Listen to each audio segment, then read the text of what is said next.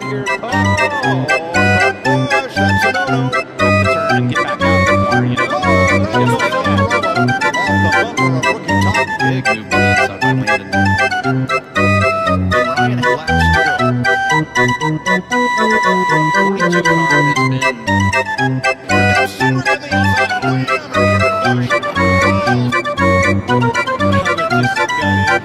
really hard.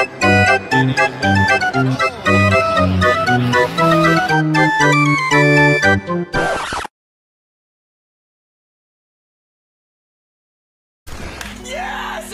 Oh my God! Yes! But that's this is all new technology today, Emotional Scar, damage.